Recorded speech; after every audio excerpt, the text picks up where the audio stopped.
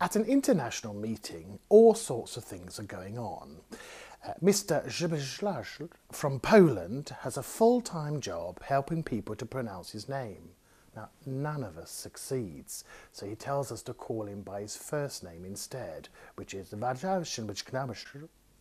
um, then there's the German gentleman. Now, at the last count, uh, his name contained the word doctor twice. So it was something like Herr Professor Dr. Dr. von Stochenbochen or von Oben or something. And then there was Mr. Ching Lu Chang. Now he's come all the way from China. Now people are a little uncertain whether to call him Mr. Ching, Mr. Lu, or Mr. Chang. Uh, so they don't.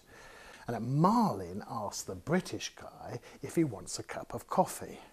Oh, I don't mind if I do, he replies. Trouble is, she's not sure if that's a yes or a no. Uh, and Mia, well, she's terribly upset because she thinks she's handed Ali Al Akbar her business card with her unclean left hand.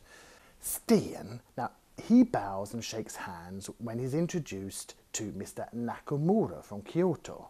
Now, unfortunately for Stian, he does these two things at the same time, so he almost knocks himself out.